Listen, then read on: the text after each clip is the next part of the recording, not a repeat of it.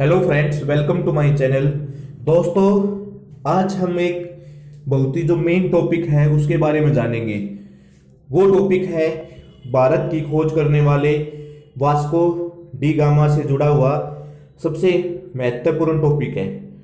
क्या Vasco D gamma के बारे में जो हमें बातें पता हैं, क्या वो सच में सही हैं, या उनके बारे में हमारा जो सिलेबस है, जो पाठ्यक्रम है पूरी जानकारी हमें पता होनी चाहिए या नहीं? तो आइए स्टार्ट करते हैं और कुछ अलग अलग जानकारियाँ आज हम जानेंगे। वास्को डिगामा पुर्तगाल का निवासी था। जो पुर्तगाल जो देश है वो यूरोप यूरोप में आता है, वह एक लुटेरा था। दोस्तों, हमने आज तक पढ़ा है, भारत के अंदर हर पुस्तक में यही पढ़ाया गया है कि वास्को डिगामा एक नाविक था, जिसने क्या है, भारत की खोज की। इतना ही हम इनके बारे में जानते हैं, लेकिन इससे और अधिक जानकारी हमें पता होनी चाहिए, सभी लोगों को पता होनी चाहिए, सभी भारत के लोगों को पता होनी चाहिए कि इसने भारत की खोज के साथ नहीं, और भी क्या है, इसके अलग अलग इतिहास हैं। वह एक लुटेरा था दोस्तों, नाविक नहीं था। कई पुस्तकों में मिलता है, नाविक था लोगों को लूटकर और उनको बंदी बनाना उसका काम था।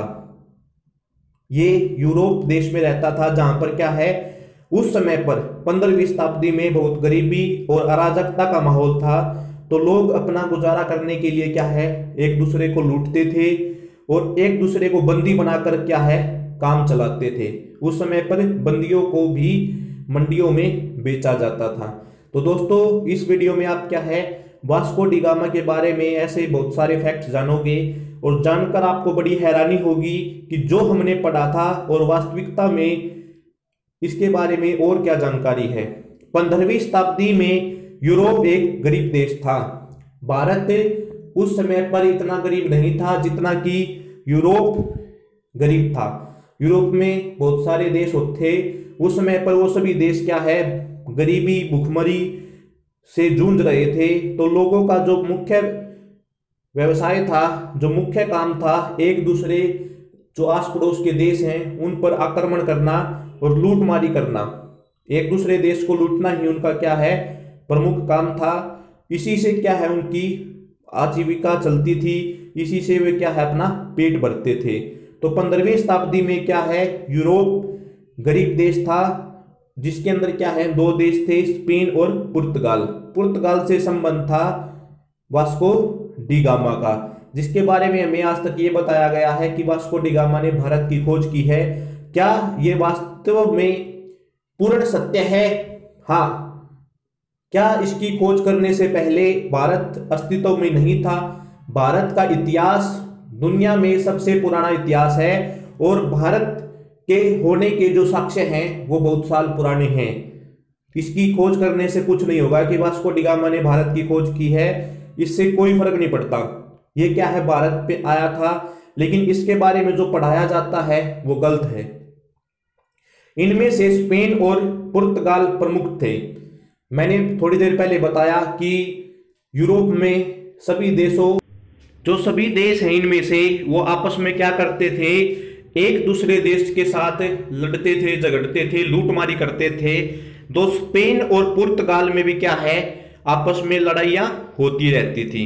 वे भी एक दूसरे के दुश्मन बन गए थे, क्योंकि वो थे तो यूरोप का ही भाग, लेकिन वो ये चाहते थे कि हम ज़्यादा से ज़्यादा लूटमारी करें, लोगों को लूटें। उस समय पर यूरोप यूरोप में ये आम बात थी।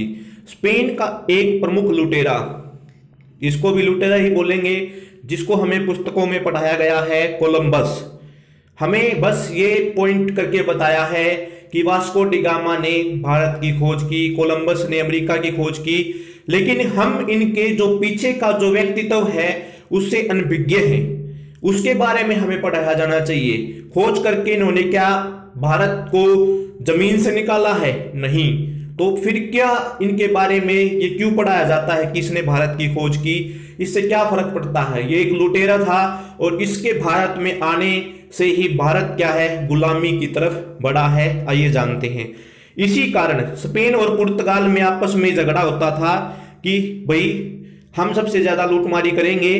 तो ये क्या है? उस समय पर पोप पोप का राज चलता था। जो पादरी होते थे, उसके पास गए और उस पोप ने क्या किया? यूरोप, जो यूरोप है, उसको दो हिस्सों में बांट दिया, पूर्वी और पश्चिम। पूर्वी भाग में भारत के जो देश हैं, वो आते हैं और पश्चिमी भाग में अमेरिका के जो देश हैं, वो आते हैं। तो इसी तरह क्या है? जो पश्चिमी भाग है, वहाँ पर क्या है? स्पेन को भेज दिया और जो पूर्वी भाग है, उधर पुर्तगाली क्या है अपना? लूटमारी करने लगे।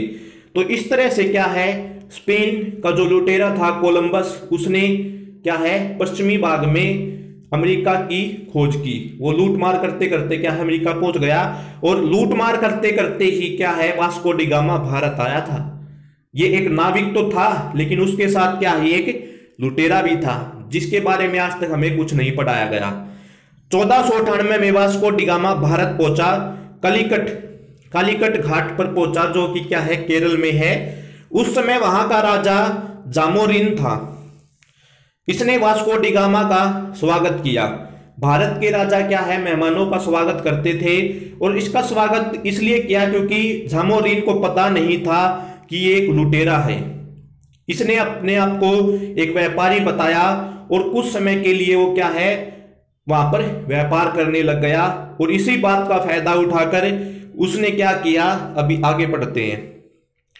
कुछ समय बाद वास्को डिगामा ने, जो जिस राजा ने वास्को डिगामा का स्वागत किया उसी राजा की क्या है? इसने हत्या करवा दी। जामोरिन की हत्या करवा दी वास्को डिगामा ने, क्योंकि वास्को डिगामा जैसे ही कलिकट केरल के तट पर उतरा, वो भारत की जो संपत्ति है, जो संपदा है, उनको देखकर अचंबित हो गया, मनमोहित हो गया और उसने क्या उस राजा की हत्या करवा दी? और पूरे जो कलिकट पर अपना राजा घोषित हो गया। उसने अपना, अपने आप को राजा घोषित कर दिया। कालीकट का राजा बन गया वो। और वहाँ पर उसका राज चलने लगा। जो भी जहाज़ समुद्र के रास्ते वहाँ से जाता, उसको वहाँ से भारी कर देना पड़ता। उस जहाज़ को भारी कर देना पड़ता।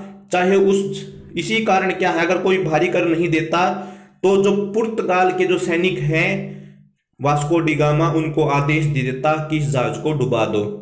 तो इसी कारण क्या है? कालीकट के जो पूरे, जो बंदरगाह है, तट है, उस पर वास्को डिगामा ने अपना कब्जा कर लिया।